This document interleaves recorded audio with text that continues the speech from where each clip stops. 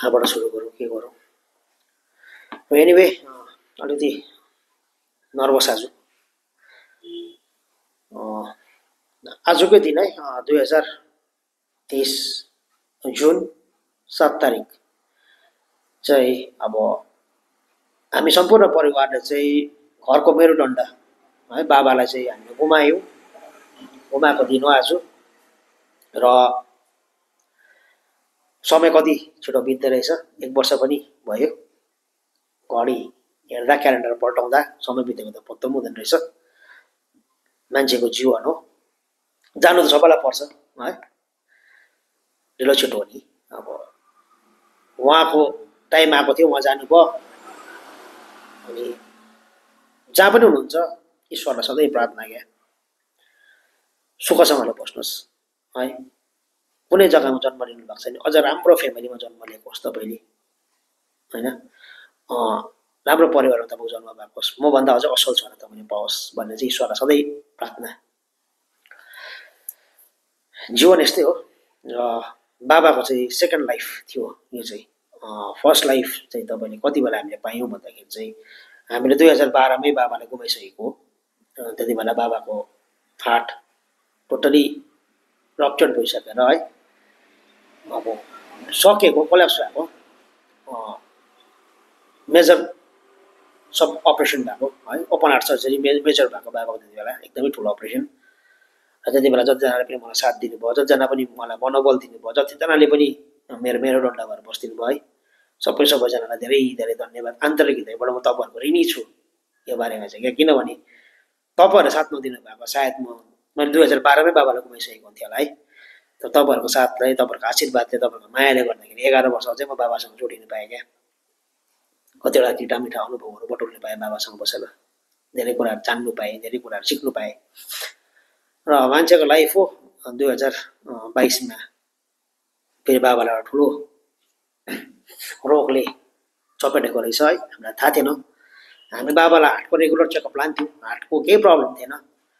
तर भित्रभित्रै बाबालाई नलाग्नु पर्ने है दुश्मन पनि नलाग्नु पर्ने रोगले लागिसकेको रहेछ हामीलाई त्यति याद थिएन है।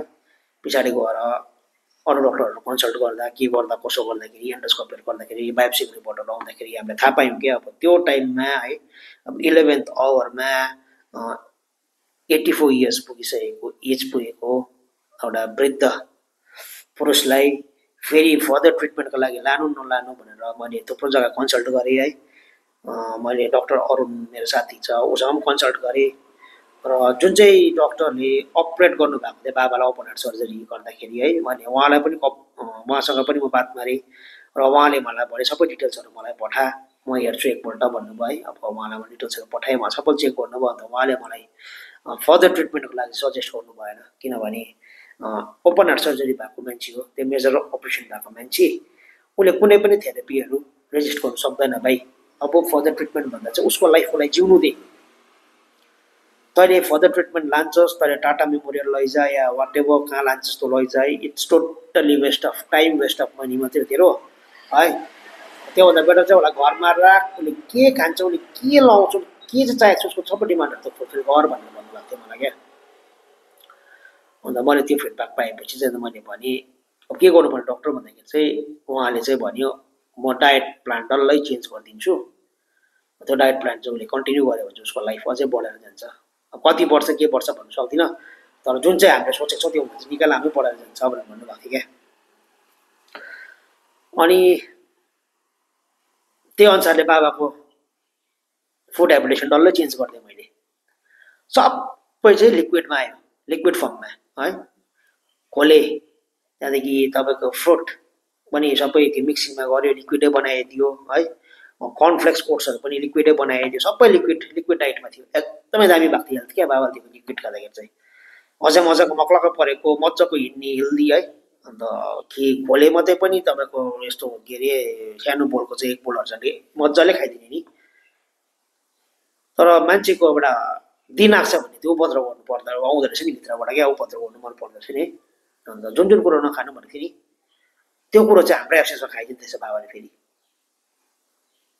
त्यसै त अब त्यो क्रुसियल स्टेजमा पुगेको लास्ट स्टेजको है बिमार त्यही माथि अब नखा भनेको कुरा चाहिँ अब हाम्रो एप्सेसमा चाहिँ डङ्क डङ्क खाइदिने। र एक महिनाको ड्युरेसन बित्नुभन्दा एक महिनाको अगाडिदेखि चाहिँ बाबालाई निकै साह्रो पाऱ्यो क्या अब। जे खान्छ निक्लिन थाल्यो बाहिर। त्यहाँदेखि घटेर यस्तै र पनि विल पावर भयङ्कर डरलाग्दो। योगाहरू गर्नुहुन्थ्यो त्यस्तो हुँदा पनि बाबा उठेर योगा गर्ने लड डङ डङ लड्ने नि। लडेर घरि ढाँड काटिरहेको हुने गरी टाउको काटिरहेको हुने गरी यस्तो प्लाट भप्पो बनाउने हो। अन्त हामीलाई टेन्सन घरबाट एकछिन निक्लिनु मन लाग्दैन थियो। अब केही भयो कि भन्ने टेन्सन अब है? बाबालाई हेर्ने त मै नै थिएँ। अब आमा बिचरा सक्नु हुँदैन थियो। एज उहाँको पनि एजै भएको हो है?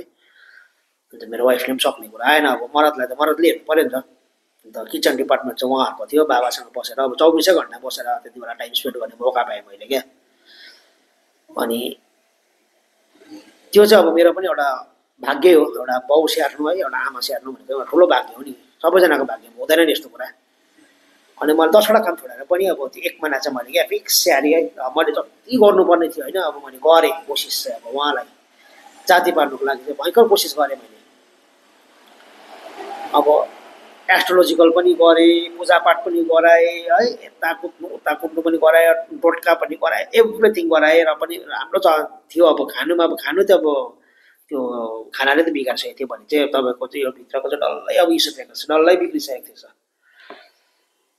र पनि विल पावर डरलाग्दो हनुमान चालिसा उठेर पढ्ने शिव चालिसा पढ्ने है बात मार्ने मजाले बात मार्ने त्यहाँदेखि चाहिँ मान्छेलाई मरण हुनुभन्दा अगाडि चाहिँ तपाईँको कतिवटा साइन दिन्छ नि मान्छेले। है साइन दिन्छ। त्यो साइनहरू चाहिँ मैले पहिल्यै थाहा पाइसकेको थिएँ। अब चाहिँ दिन चाहिँ छैन भनेर चाहिँ क्या। अब किनभने उल्टापाल्टा बोल्ने है? अन्त पहिला पहिलाको स्कुल डेजको कुराहरू गर्ने आफै नानी जस्तो हुने घरि हाँस्ने घरि रुने है? घरि भित्तामा हेर्ने को आयो भने भित्तामा बात मार्ने घरि खिर्कीमा खिर्कीमा टल्ल परेर हेरेर बोलिरहने त्यस्तो भइसकेको थियो क्या। हल्लाउँदा जसँग हुने ए भन्ने टाइपको हुन्थ्यो बाबालाई। अनि घरमा पालेको पेट्सहरूले अचानक बेहोरा देखाउँछ नि के?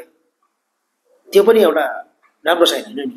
किनभने खस्नुभन्दा दुई दिन अगाडि मलाई र मेरो वाइफलाई फिफीले टोकेको नि त। कहिले नटोक्ने क्राम टोक्नु पनि दामी टोक्दैछ नि क्राप क्राप बनाएको नि। है त्यो पनि त्यो पनि मैले मलाई थाहा थियो अब कि अब दिन चाहिँ छैन हाम्रो भनेर। र एक्कासी बाबा दुई दिन चाहिँ बेलुका राति बौलाउनु भयो क्या। कुहायो कुहायो कुहायो कुहायो कुहायो ऊ म जान्न म जान्न म जान्न कुहायो कुहायो भन्ने टाइपको क्या अब हुन्छ नि बौलाउनु अन्त गएर मैले यस्तो गरेर हेरेँ बोलाइरहेको छ फेरि मैले घर थुप्रोमा सुत्दा सुताएँ क्या बाबालाई सुत्नुहुन्थ्यो भरे कसो कसो गरेर सिटिङ रुममा यस्तो हेरेर बसेको त आम्बो यो चाहिँ मेरो लाइफको यति डद भयानक एक्सपिरियन्स हो कि मान्छे जस्तो आकार भएको बिरालो चाहिँ सिटिङ रुममा अब जब फिफी मेरो घरमा फिफी छ भने त्यो बिरालो कहाँबाट आयो? है? फिफी त डरले टाढो पनि फिफी त चुई चुई चुई कराएर भएको थियो नि त्यो बिरालो देखेर त। त्यो बिरालो दुईपल्ट आयो घरमा। दुईपल्ट चाहिँ मैले घरबाट त्यसलाई खेदेको। मलाई पनि पोस्नु आँट्न आएको थियो। अब मान्छेको जस्तो मुख भएको तर बिरालो क्या। त्यहाँदेखि चाहिँ मैले म चाहिँ एकदमै मेन्टली प्रिपेयर्ड भएर बसेँ क्या। अब यो चाहिँ राम्रो लक्षण छैन अब आज भोलिभित्रमा चाहिँ केही पनि हुनसक्छ भन्नु मैले चाहिँ म चाहिँ मेन्टली प्रिपेयर थिएँ। यसरी नै अब मान्छेहरू आउने जाने सिलसिला चलिरहेको। बाबालाई हेर्नु है। अब बाबा अब त्यत्रो बाटो हिँडिरहने सबैजनासँग राम्रो। अन्त अचानक नदेख्दाखेरि अचानक घरमा बिमार छ अरे ओछ्यानमा छ अरे भन्दा मान्छे आउँछ नि त हेर्नु होइन। त्यसले गर्दाखेरि अब हामी पनि अब पुरै डिस्टर्ब थियौँ नि। सुताइ हुँदैन थियो। हो दिउँसो राम्रो खुवाइ हुँदैन थियो। बिहानदेखि मान्छे आउने। अन्त सत्ताइस तारिकको दिन आजको दिन चाहिँ बाबाले के भन्नुभयो भन्दाखेरि चाहिँ तिमीहरू त के हो माछा मासु खाँदैन त घरमा? माछा मासु ल्याएर खान? म पो बिमारी हो तिमीहरू त बिमारी होइन त भनेर चाहिँ भन्नुभयो मलाई क्या। हुन्छ सँगै भयो अन्त। कहाँ खान्छौ घरमा? आफू बिमारी भइरहेछ अन्त हामी चाहिँ मासु मासु खानु क्या त्यही माथि मान्छे दिनभरि मान्छेहरू आउँछ। कति बेला पकाएर खानु? हामी त बेलुका त खाँदैनौँ भनेर खाएर खाएर मासु मासु खाएर। जहाँ गएर तल घर मासु लिएर आएछ तिमीहरू पकाएर खा भन्नुभयो क्या। त बुधबारको दिन थियो होला बुधबार जस्तो लाग्यो मलाई। त्यहाँदेखि म तल गएर चाहिँ मासु लिएर आएँ रेल रोडबाट मासु लिएर आएँ खसीको मासु आफै पकाएँ मजाले है त्यहाँदेखि हामी तिनजना थियौँ आमा म र मेरो वाइफ अन्त मैले भने आमाहरूले मान्छेहरू आउँछ छिटो पकाएर छिटो खाइहालौँ ल। अन्त एकछिन रेस्ट पनि गरौँ हामी धेरै भएको थिएनौँ सुतेको किन रातभरि बाबाले गर्दा सुत्नु पाउँदैन थियो। घरि बिरालो आउने घरि कोसँग बोल्ने घरि केसँग गर्ने हो। टेन्सन हुन्थ्यो नि त। त्यसले गर्दाखेरि चाहिँ त्यो दिन सुत्नु पऱ्यो एकछिन निदा कस्तो भएको थियो कि खानासाना खाएर कति दिनको निन्द्रा मजाले चाप्दाखेरि कस्तो मजा हुन्छ है? मिठो हुन्छ नि त निन्द्रा। त्यति बेला चाहिँ गेटकोमा चाहिँ डोरबेल चाहिँ ट्याङ ट्याङ गरेर डोरबेल बस्दाखेरि चाहिँ यस्तो रिस उठेको कि मलाई चाहिँ आमा म चाहिँ त्यहाँबाट चिङ्जुरो भएर बाहिर निक्लेँ होइन। त्यहाँदेखि यसो गेटमा हेरेको त रूपस्ता आउनु साउसीको। भाइ म हो म अङ्कल हेर्नु आएको भन्नुभयो। अन्त आउनुभयो अन्त माथि आएर बाबालाई भेट्नुभयो। बात बात मार्दै थिएँ हामी मजाले। अङ्कल ओट्स ल्याइदिएको छु र तपाईँलाई मैले भने अङ्कलले अँ राखिदिनु त्यहाँ भने। त्यहाँदेखि बात मार्दै दियो बात मार्दै दियो त्यही त्यहाँदेखि रूपस्ताले मलाई भन्नुभयो भाइ यस्तै हुन्छ नि मैले पनि भन्ने उहाँको पनि कुराहरू गर्दै थियो अन्त मलाई भाइ तिमी मेन्टली प्रिपेयर भयो भनेर भन्नुभयो क्या। आम त झिरिङ्ग भयो मेरो क्या अब मेन्टली प्रिपेयर भयो भन्दाखेरि। दाजु म त मेन्टली प्रिपेयर छ महिना अगाडिदेखि छु त भनेर भने मैले क्या अन्त। होइन होइन भाइ तिमी छातीमा बाबाको छातीमा यसो हातहरू दलिदेऊ बाबालाई अङ्गालामा र माया गर भन्नु थालेँ क्या। कस्तो खालको फिल भयो मलाई त्यसो भन्दा त क्या अन्त त्यहाँदेखि चाहिँ म चाहिँ अङ्गालाहरू सो मारेँ टक्क गरेर पनि बाबा राम्रै छ त्यस्तो पनि छैन नि अब राम्रै बात मार्दैछ तर एक प्रकारको भयो मन क्या टक्क तपाईँको तिन पैँतिसमा चाहिँ दिउँसोको तिन पैँतिसमा चाहिँ मैले आमालाई आमा चाहिँ बाबाको ठिक्कै पछाडि बस्नु भएको थियो म चाहिँ बाबाको छेउमा रूपस्थ चाहिँ यता साइडमा आमा गङ्गाजल दिनुहोस् न भनेर गङ्गाजल मागेर गङ्गाजल छट्टै खुवाइदियो अरू बेला गङ्गाजल छट्टै खानुहुन्थ्यो बाबाले क्या त्यो दिन खानु भएन नि गङ्गाजल टक्क हाल्दै मुखमा खेलाइरहनु भयो एक मिनट जस्तो मैले के गरेको भने मैले यसो के गरेको हो भने? सट्टै प्युरिफाई गरेको अरे। प्युरिफाई गरेको अरे हौ आफूले आफूलाई सट्टा हाल्दै मेरो त आङ त फुलिँदै फुलिँदै आउँदैछ हौ। यसो यसो उपस्थित घुट्टोबाट बसिरहेको छ यसो गरेर प्रार्थना गर्दै। त्यहाँदेखि मलाई गयो ल भन्नुभयो बाबाले एकैचोटि। यसो गरेर गयो ल भन्नुभयो। चक्क गरेर। कहाँ हो? दुई भाइ सँगै जानुपर्छ अहिले। घुम्नु जाने होइन परसम्म घुम्नु जाउँ न दुई भाइ सँगै जाउँ न म जिस्किँदैछु अब त जिस्किँदैछु र पनि आङ फुलिरहेछ मलाई क्या। टक्क तिन बजेर चौवालिस मिनटमा चाहिँ यता हेऱ्यो उता हेऱ्यो मलाई हेरेर किचिक्क हाँसेको बाबा म पनि किचिक्क हाँसेँ कि? म गयो ल भने। आमा गङ्गा दिनुहोस् न मुखमा मात्रै हालिदिएको कि। हल्का अरे सट्टै सट हेरेको हेरेको हेरेको म अब यस्तो खालके पिसफुल डेथ र यस्तो मैले जीवनमा कहिले पनि देखेको थिइनँ क्या अब अब मेरो पछाडि आमा आमालाई थाहा छैन यो कुरा आमा आफ्नो दुनियाँ आउनुहुन्छ त्यहाँ रूपस्ता छेउमा बसिराख्नु भएको छ रूपस्ता र म एकअर्कालाई हेरेकै हेरेकै अन्त रूपस्ताले यसो गर्नुभयो मलाई यसो गर्नुभयो उहाँ प्रा उहाँ प्रे गर्नुहुँदै थियो मलाई यसो भन्नुभयो मैले पनि बुझिहालेँ अब।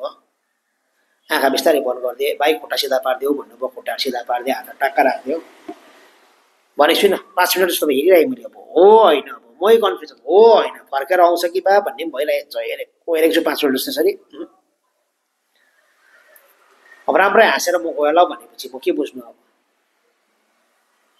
त्यहाँदेखि चाहिँ हात यसो हेरेको हात सबै निलो हुँदै आयो यस्तो टोपो टोपो निलो भयो चिसो भयो खुट्टा झामेको चिसो भुँडी यस्तो झामेको भुँडी त हड्डी जस्तो कडा कडा भइहाल्यो भुँडी दिएको त्यहाँदेखि चाहिँ आमालाई भने बोलाएँ आमा भने अब रोएर फाइदा छैन है कराएर पनि फाइदा छैन चिचाएर पनि फाइदा छैन है समाज हँसाउनु मात्रै हो अब हाँसेरै गएको छ हाँसेरै बिदा गरौँ भन्दा चाहिँ आमा एकछिन सक्नु भयो कि आमाले पनि त्यो भक्कानो फुटाउनु चाहिँ सक्नु भएन कि अब मैले त्यसो भनेपछि। त्यहाँदेखि चाहिँ पिर पिर पुरा आँसु झर्नु थाल्यो आमाको। त्यहाँदेखि मेरो वाइफ पल्लोपट्टि रुममा थियो आफ्नो रुममा। उसलाई पनि अब अत्तालिन्छ न मैले भनिनँ। त्यहाँदेखि उसलाई पनि बिस्तारै गएँ बोलाएँ बाबा छैन भन्दा पनि पुरा अत्ताले क्या। आएर एकछिन त्यहाँ रुवाबासी अलिअलि सबैको हुन्छ सबै घरमा हुन्छ यो है। मेरो एक थप आँसु पनि झरेन। यस्तो बन्डिङ थियो बाउ र छोराको कि। झार्नु सकिनँ मैले कि अब त्यो। अब ऊ हाँसेर गएपछि म किन रोएर बिदा गरेँ गर्नुलाई होइन? र समय यस्तै हो ढिलो छिटो हो जानुपर्छ होइन? अघि म तपाईँलाई गीताको श्लोक भनिहालेँ है। आत्मा अविनाशी हो आत्मा कहिले पनि मर्दैन नि त है? उसले त यो शरीर त त्यागेर गएको एउटा पुरानो लुगालाई त्यागेर एउटा नयाँ लुगा धारण गर्नुभएको है? र भगवान्लाई यति नै प्रार्थना हो जहाँ पनि छ है? खुसीसँग होस् है? अब म स्वर्गमा छ भन्नु पनि सक्दिनँ नर्गमा छ भन्नु पनि सक्दिनँ है? या कुनै योनिमा जन्म लिएको पनि हुनसक्छ होइन तर यदि मान्छेको घरमा जन्म लिएको छ भने चाहिँ नि यस्तो राम्रो घरमा जन्म लियोस् उहाँले जुन चाहिँ कर्म गरेर गएको छ नि उहाँ। मान्छे एकदमै राम्रो। होइन? जुन चाहिँ उहाँले कर्म गर्नुभएको छ नि एउटा कर्म यस्तो गर्नुभएको छ कि त्यो कर्म त्यो कर्मले गर्दा पनि उहाँ चाहिँ यस्तो राम्रो घरमा जन्मोस् यस्तो राम्रो छोरा भएर जन्मोस् होइन? भविष्यमा यस्तो राम्रो अझै बाउ भएर जन्मोस् कि हो? भगवान्लाई यति नै प्रार्थना। र अब बेसी यो कुरा त तपाईँलाई पनि उयो हुन्छ होला है। र यो च्यानललाई तपाईँहरूले लाइक इच्छा लाग्यो भने गरिदिनुहोस्। सब्सक्राइब गर्नै पर्छ भन्ने पनि छैन है? सब्सक्राइबको लागि मैले सब्सक्रिप्सन बनाएको पनि होइन च्यानल यो एपिसोड। र यो मेरो डकुमेन्टेसनको लागि बनाएको भविष्यमा गएर मलाई पनि याद हुन्छ है। मलाई कोही कोही बेला बाबाको याद हुन्छ मैले यो खोलेर हेर्नु सकौँ भनेर चाहिँ मैले बनाएको है। र अब नेक्स्ट एपिसोड चाहिँ म गुम्बा जाँदैछु। बाबाको नाममा बत्ती बाल्ने है। माथि गुम्बा पनि दर्शन गराउने तपाईँहरूलाई। बत्ती पनि बाल बाल्ने छिमी बाल्ने प्रार्थना गरिदिनुहोस् है बाबाको लागि ल सबैजनाले। र अब अगाडि म तन्काइरहनु सक्दिनँ पनि म निकै भावुक छु। अलिकति मलाई पनि भित्रबाट दुख्दैछ सायद। ड्रामाटिक हुन्छ फेरि यो अगाडि आइरह्यो भने। सबैको घरमा पर्छ सबैको लाइफमा पर्छ। ढिलो छिटो थियो। है। प्रार्थना गरिदिनुहोस् सबैजनालाई धेरै धेरै माया। है। त्यति भन्दा आजको यो एपिसोडलाई चाहिँ म अन्त गर्नुहोस् थ्याङ्क यू